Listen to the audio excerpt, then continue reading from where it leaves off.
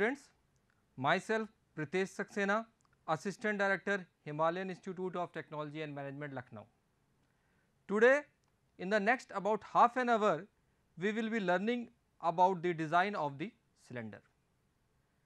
So, in about next half an hour we will see that what is IC engine cylinder, what are the function of IC engine cylinder, what is the function of IC engine liner, what are the basic other formulas and we will try to formulate all the basic dimension of the engine cylinder in the next about half an hour.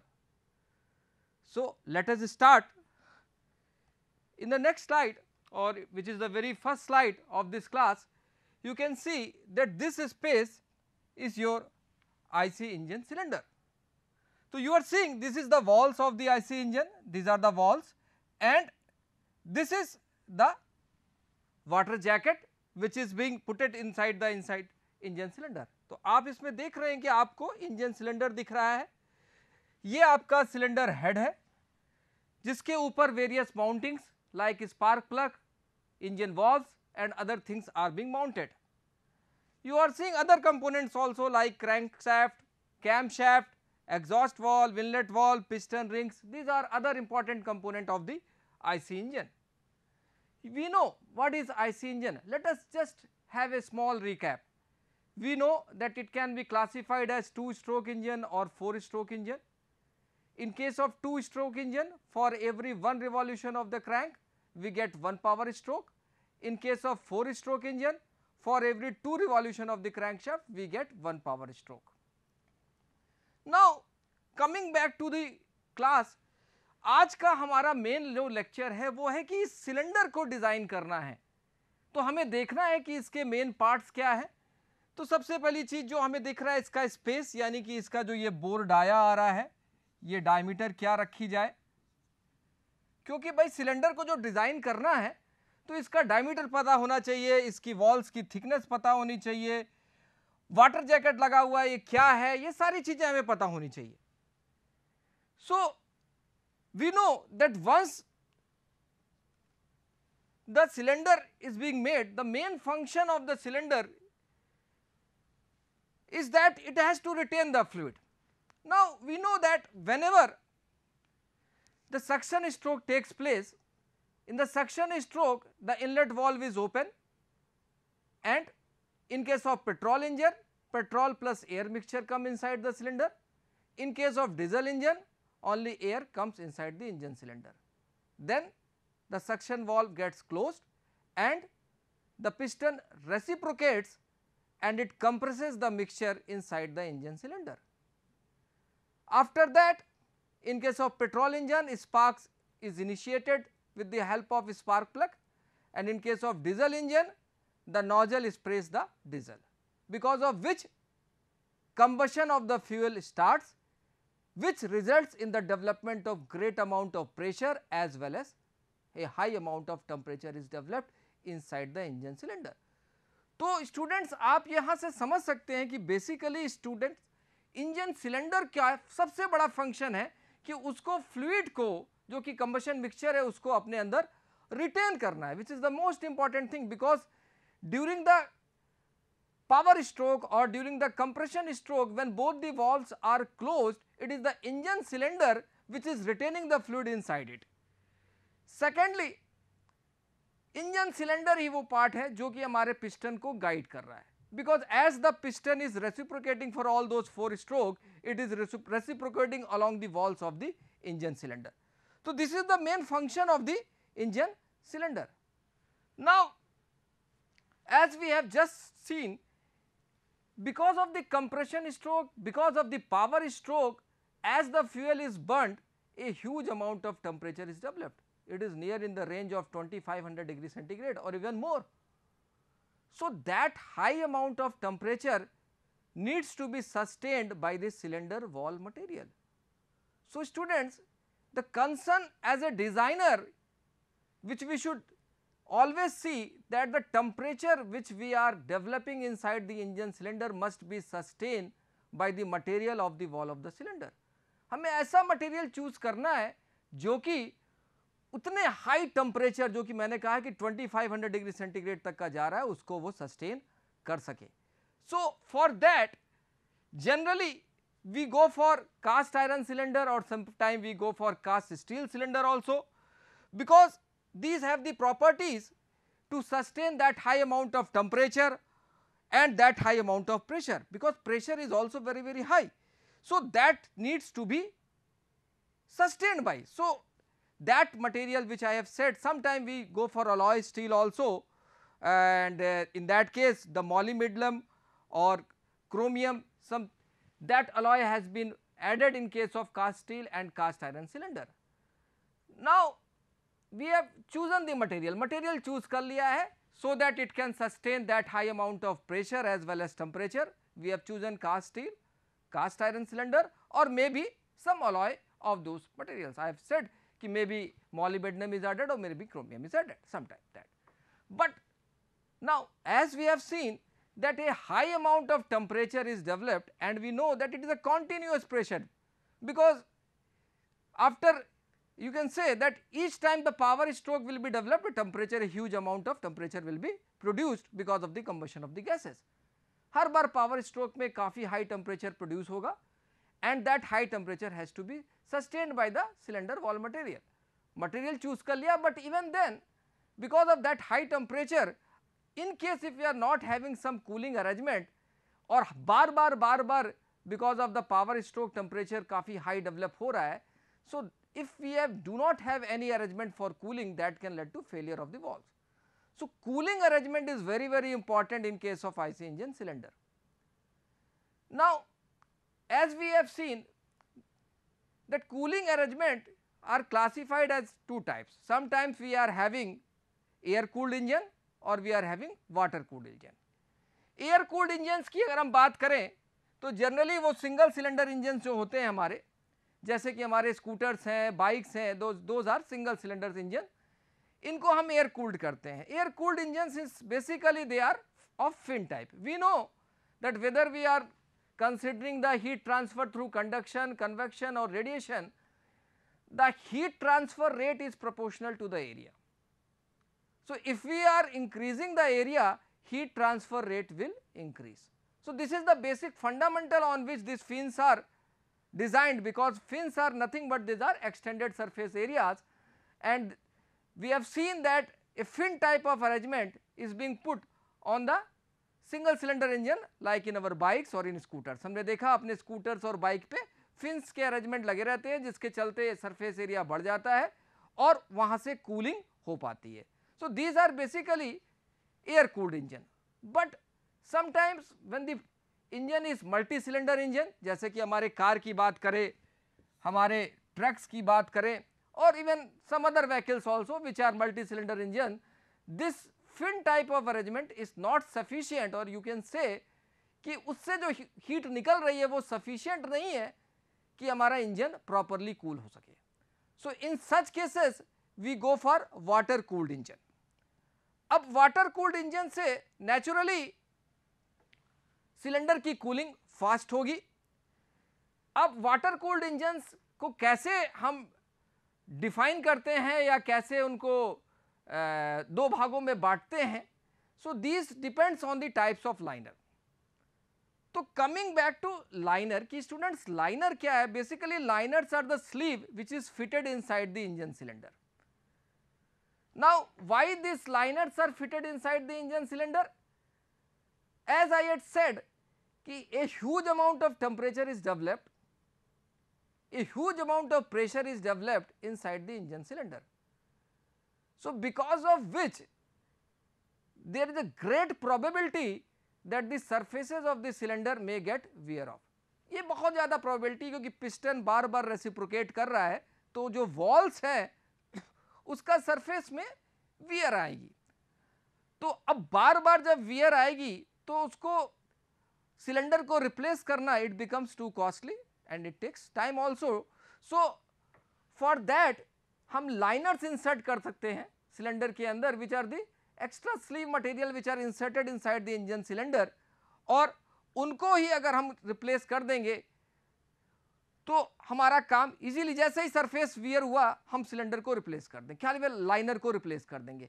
तो इस समय केवल liner का जो material है that should be of very good great material other than liner material we can have low grade material so liner should be of good grade now if the water jacket जिसको कि हम cooling के लिए लगा रहे हैं, वो अगर हमारे लाइनर से टच में है then that is called as water wet liner and in case the water jacket जो कि हम कूलिंग के लिए लगा रहे हैं, वो लाइनर से हमारे टच में नहीं है then that is called as dry liner it is clear from this slide also here you see this is the cylinder ये आपका सिलेंडर है जिसके अंदर आपका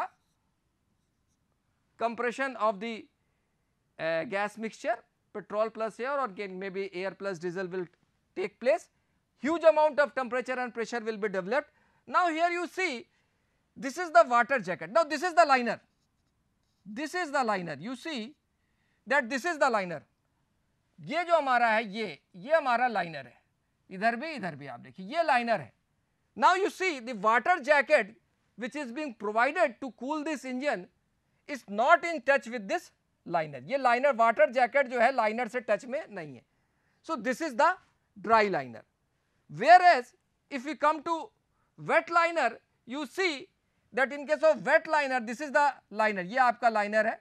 और वाटर जैकेट जो कि कूलिंग के लिए लगाया गया है, ये आपके लाइनर से टच में है। तो of course the cooling will be much better in case wet liner. Now of course the cooling will be better in case of wet liner, but there is a problem also. What is the problem? Is suppose a leakage occurs and it is in touch with the liner so that that leakage can go inside the engine cylinder so it can ruin off the mixture. So this is the problem with the wet liner. Otherwise to manufacture the wet liner is very easy. But if we come back to dry liner you see that it is a hidden type of jacket. ये jack ये जो water jacket है, ये बीच में बनी हुई है। To manufacture dry liner is a difficult job as compare to manufacture a wet liner now we have seen हमने पहले भी बताया कि इसका फ़ायदा क्या है लाइनर्स का, कि now the advantage of liner is that we can very easily replace the liner only one the surfaces become wear off जब भी सरफेसेस में कुछ प्रॉब्लम आएगी तो हम बड़े इजीली केवल हमको लाइनर को रिप्लेस करना है और बाकी सिलेंडर हमारा सेफ़ है। तो केवल लाइनर का मटेरियल गुड ग्रेड रखेंगे बाकी मटेरियल हमारा जो है वो लो ग्रेड का भी हो सकता है।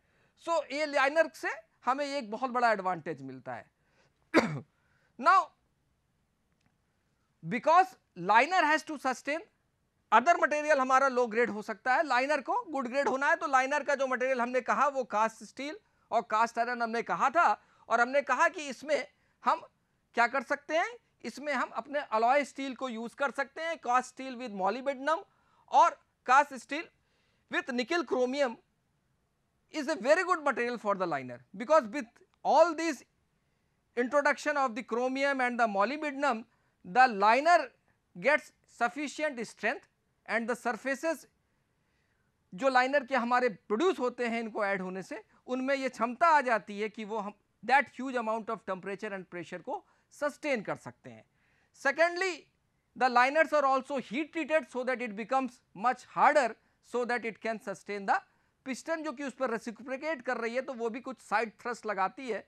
तो उसको भी although the value of side thrust is not that high but even that has to be sustain by the cylinder liner so cylinder liner should always be of good grade material and other material other than the cylinder liner can be of low grade तो जब भी हमारा मटेरियल खराब हुआ, हम केवल cylinder liner को हटा के रिप्लेस करके दूसरे को ला सकते हैं। Secondly because of the huge amount of temperature whatever the thermal stresses that will be produce that can be sustained by the cylinder liner only so we can compensate that also with the help of cylinder liner की जो भी cylinder liner जो भी high huge amount of thermal stresses produce हो रही है because temperature is in the range of 2500 degree centigrade 2500 degree centigrade तक का टेम्परेचर प्रोड्यूस हो रहा है so that can be easily sustained and because of that high temperature thermal stresses produce होंगी तो वो लाइनर में ही ऐसी क्षमता हम प्रोड्यूस कर देते हैं कि वो उतनी ह्यूज अमाउंट ऑफ़ टेम्परेचर के चलते जो थर्मल स्ट्रेसेस प्रोड्यूस हो रही हैं, उसको वो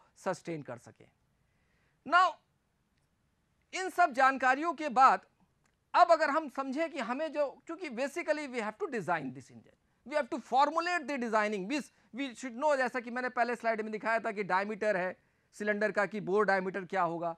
Then we should know what is the thickness of the cylinder wall we should know what is the diameter of the cylinder head placed we should know कि head को जो रखा गया है सिलेंडर के ऊपर उसको चारों ओर से because if we see the cylinder from the top view it will be a circular cross section. So, that is being that cylinder head is placed over the cylinder bore. With the help of number of states तो हमको इन सारी चीज़ों को design करना होगा। सबसे पहले cylinder का बोर सिलेंडर की लेंथ फिर हम डिज़ाइन करेंगे सिलेंडर के वॉल की थिकनेस फिर हम डिज़ाइन करेंगे सिलेंडर हेड और फिर सिलेंडर का फ्लैंज क्या होता है देखेंगे और उसके ऊपर जो हेड लगा हुआ है, उसको जो हम स्टेट्स के द्वारा हेड लगाएँगे, उनको कैसे कैलकुलेट करेंगे, उनका डायमेंशन कैसे कैलकुलेट करेंगे, ये देखेंगे।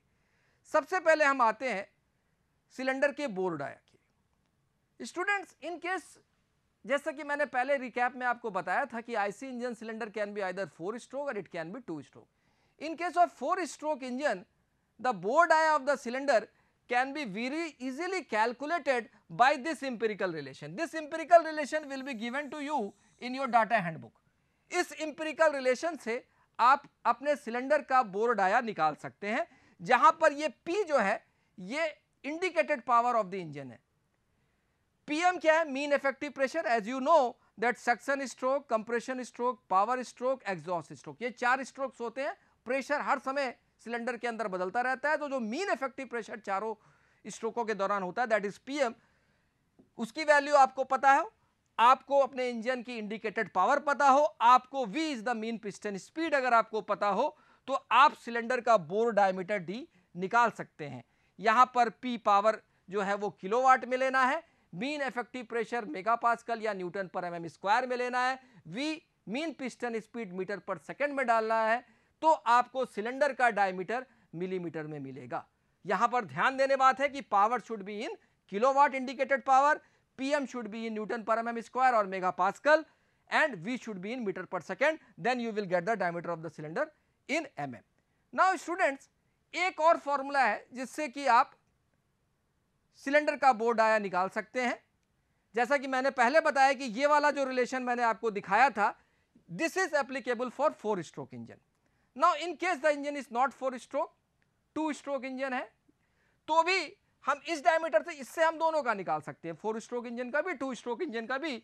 यहाँ पर एक फॉर्मूला है कि indicated power is P M L A N by sixty as I have explained you that PM is the mean effective pressure, here L is the length of the stroke and what is N? N is the number of working stroke per minute, number of working stroke per minute. अब हमने मालूम है कि for two stroke engine, for every revolution of the crankshaft one power stroke is produced and for four stroke engine, for every two revolution of the crankshaft one power stroke is produced. तो small n की value अगर हमें N capital N क्या है speed of the engine अगर हमें पता है आरपीएम में तो स्मॉल एन की वैल्यू कैपिटल एन के बाद बराबर हो जाएगी अगर वो टू स्ट्रोक इंजन है। And in case the engine is four stroke engine the value of this small N will be equal to capital N by two ये किसके लिए होगी? फोर स्ट्रोक के लिए। और अगर हमारा एन ये किसके बराबर हो जाएगा? एन के बराबर हो जाएगा किसके लिए? टू स्ट्रोक के लिए। तो इस इंजन के, इससे हम कैसे निकालेंगे बेसिकली बिकॉज़ समटाइम आपको इंजन की मैकेनिकल एफिशिएंसी दी रहेगी। इन केस इंजन की मैकेनिकल एफिशिएंसी नहीं दी है तो student we will always assume more than 80 percent ये आपको पॉइंट ध्यान रखना कि अगर आपको इंजन की एफिशिएंसी नहीं दी है तो you will always assume more than 80 percent now what is mechanical efficiency it is output by input output is brake power input is indicated power in case you know the mechanical efficiency, What is mechanical efficiency? Efficiency mechanical will be equal to brake power by indicated power. So, brake power will be equal to efficiency mechanical into indicated power and what is indicated power? Indicated power is PLAN by 60. So, in case आपको brake power पता है आपको engine की efficiency पता है तो आप यहाँ से जो यहाँ पर P क्या है PM is the mean effective pressure जो कि मैंने पहले ही बता दिया this is PM L is the length of stroke ये डाल करके भी आप इंजन के डायमीटर निकाल सकते हो, क्योंकि यहाँ पर एरिया की जगह आप pi by four D square put कर देंगे। Length is always length of stroke को भी हम डायमीटर के टर्म में दिए रहते हैं आईसी इंजन सिलेंडर में। तो वो हम जब अब कैलकुलेशन वाला चैप्टर करेंगे तो मैं भी दिखाऊँगा अभी कि लेंथ जो है, वो कैसे डायमीटर से रिलेटेड है। तो एल जनरली 1.5 डी और 1.6 डी के बीच में हम लेते हैं तो 1.5 डी पुट ये पुट कर देंगे area pi by four D square put कर देंगे। तो यहाँ पर ये डी क्यूब के टर्म में आ जाएगा। इससे भी हम डायमीटर निकाल सकते हैं। नाउ हमारा सिलेंडर का डायमीटर क्लियर हो गया है। जब डायमीटर क्लियर है लेंथ भी ऑलमोस्ट क्लियर है। Now because of the pressure जो कि मैंने आपको बताया था कि सिलेंडर के वॉल में, क्योंकि जो गैस प्रेशर है, वो ऐसे भी लग रहा होगा, ऐसे भी लग रहा होगा, दोनों तरफ़ से लग रहा होगा। तो because of this the cylinder wall के ऊपर आपके longitudinal stresses and circumferential stresses दोनों प्रोड्यूस होते हैं। साथ ही साथ चूँकि पिस्टन रेसिप्रोकेट करता है तो मैंने पहले भी बताया था साइड थ्रस्ट भी होता है। लेकिन उस साइड थ्रस्ट की वैल्यू को हम नेग्लेक्ट करेंगे। Basically we will be going for longitudinal stresses and circumferential stresses हमको लॉन्गिट्यूडनल स्ट्रेस कितना प्रोड्यूस हो रहा है और सर्कमफ्रेंशियल स्ट्रेस कितना प्रोड्यूस हो रहा है, ये ज़रूर निकालना है। तो अब ये दोनों स्ट्रेसेस जैसा कि मैंने पिछले डायग्राम में भी देखा था कि ये दोनों स्ट्रेसेस आपस में परपेंडिकुलर है। तो इनका हमें दोनों और ये दोनों स्ट्रेसेस लॉन्गिट्यूडनल स्ट्रेस और सर्कमफ्रेंशियल स्ट्रेस सिलेंडर के वॉल के ऊपर लग रहे हैं। और ये दोनों एक साथ लग रहे हैं तो हमें नेट स्ट्रेस भी निकालना होगा। तो हम लॉन्गिट्यूडनल स्ट्रेस निकालेंगे सर्कमफ्रेंशियल स्ट्रेस निकालेंगे, ये मानेंगे कि साइड थ्रेस की वैल्यू नेग्लिजिबल है, उसको नेग्लेक्ट करेंगे और लॉन्गिट्यूडनल और सर्कमफ्रेंशियल स्ट्रेस दोनों एक साथ लग रहे हैं तो नेट स्ट्रेस भी निकालेंगे। अब लॉन्गिट्यूडनल स्ट्रेस अगर हम देखें तो ये इस एरिया पे लगता है, क्योंकि ये आपका सिलेंडर है, इस डायरेक्शन में तो जो एरिया दीवार का इसको सस्टेन कर रहा है वो ये है। तो सिलेंडर का अगर थिकनेस हमने टी मान ली और थिकनेस किसकी होगी? दीवार की। अब ये सिलेंडर जो अगर हम देखें तो ये आपका इनर डाया है और ये चूँकि सिलेंडर ऐसे है, ये आपका बोर्ड आया है। ये आपका बोर्ड आया है। ये जो आपका है, ये आपका बोर्ड आया है। डी, जो कि हम निकाल चुके हैं। तो अब अगर हमें लॉन्गिट्यूडनल स्ट्रेस निकालना है तो स्ट्रेस क्या होता है? फोर्स अपॉन एरिया तो स्ट्रेस होता है फोर्स अपॉन एरिया तो फोर्स क्या हो जाएगा? जो कि गैस का फोर्स है, वो कहाँ लगेगा? सिलेंडर के अंदर। तो सिलेंडर के अंदर जो गैस है, वो तो इसी डायमीटर के अंदर है। तो उसके चलते जो फोर्स लगेगा, वो कितना लगेगा? Pi by four D square P, क्योंकि प्रेशर कितना होता है? Force upon area. तो प्रेशर के चलते जो फोर्स लगेगा, प्रेशर इंटू एरिया। तो प्रेशर इंटू एरिया, ये वाला एरिया कितना होगा? Pi by four D square. अब ये जो फोर्स, गैस फोर्स लग रहा है, इसको किसको सस्टेन करना है? इसको सस्टेन करना है सिलेंडर के वॉल को।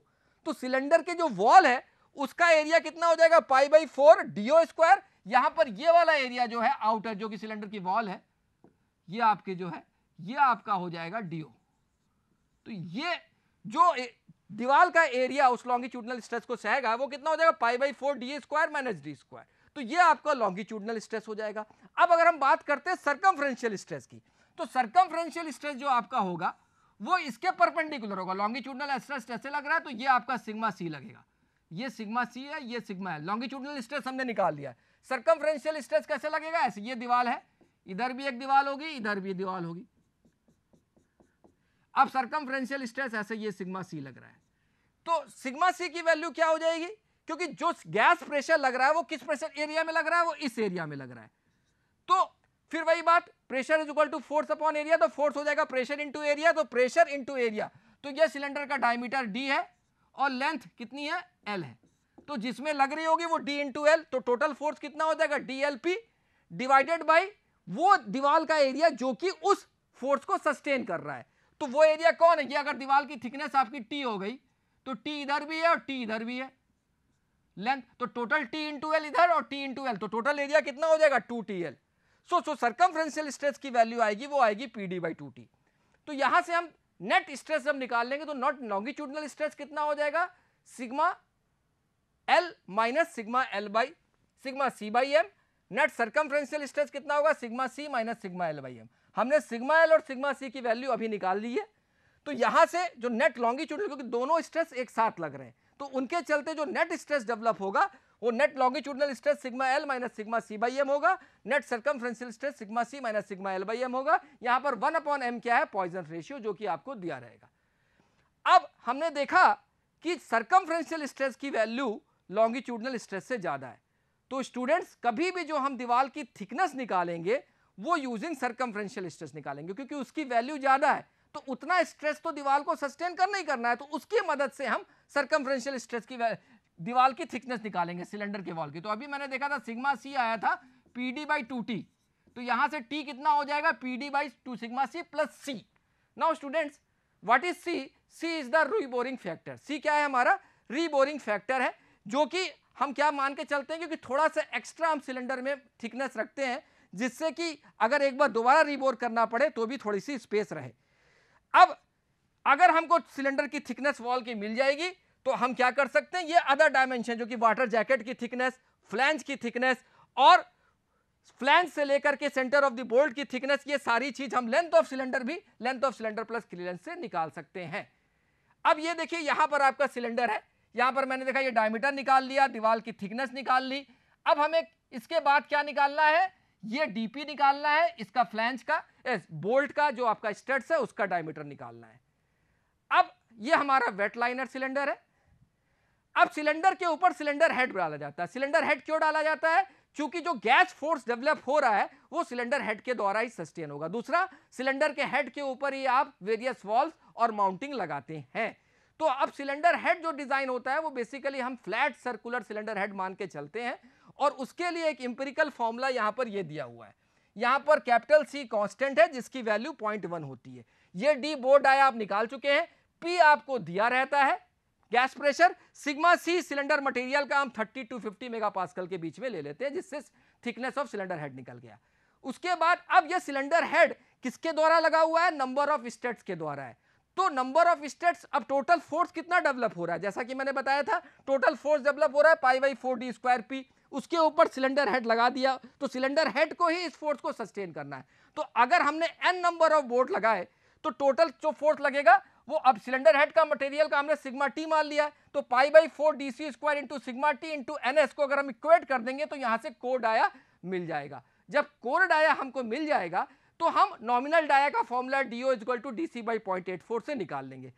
अब सिलेंडर फ्लैंच और स्टेट जब निकल गया तो यहाँ पे सिलेंडर फ्लैंच के थिकनेस हम पहले ही निकाल चुके हैं। हमें यह ध्यान देखना है कि अगर लीक प्रूफ जॉइंट है तो जो पिच सर्किल डायमीटर है, वो 19 डीओ स्क्वायर रूट टू से 28.5 डीओ स्क्वायर रूट टू होना चाहिए। अब यहाँ पर हमें कहना क्या है कि ये जो हमें डीपी चाहिए, pitch circle diameter of the, क्या pitch circle diameter of the जो बोल्ट हमने लगाया, क्योंकि अगर हम टॉप व्यू से देखें तो हमारा ये सर्कुलर में नंबर ऑफ़ स्टेट्स लगे हैं। तो डीपी चाहिए और एक्सटर्नल डायमीटर ऑफ़ डीओ चाहिए। हमको डीओ किसका, जो फ्लैंच का एक्सटर्नल डायमीटर है। तो इसके लिए सीधे सीधे इंपेरिकल रिलेशन है। कि डीपी की वैल्यू जो होगी वो होती है D plus three D O यहाँ पे डीओ क्या है? Nominal diameter of the bolt और जो external diameter DO of the flange है, वो DP plus DO plus twelve यहाँ पर डीपी चूँकि हम निकाल चुके होंगे pitch circle diameter of the state और DO nominal dia plus twelve करके हम डीओ निकाल सकते हैं। तो इस तरह से स्टूडेंट्स हमने क्या किया? हम फाइनली अगर आ जाए तो हमने सिलेंडर का ये डी निकाल लिया थिकनेस निकाल लिया ये डीपी निकाल लिया कि जो स्टड्स पूरे सर्किल में है, उनका पिच सर्किल डायमीटर क्या होगा? ये जो हमारा सिलेंडर का फ्लैंज था, इसकी जो आउटसाइड डायमीटर डीओ है, वो भी हमने निकाल ली। तो इन सभी को यूज़ करके हम सिलेंडर को डिज़ाइन कर सकते हैं। Thank you students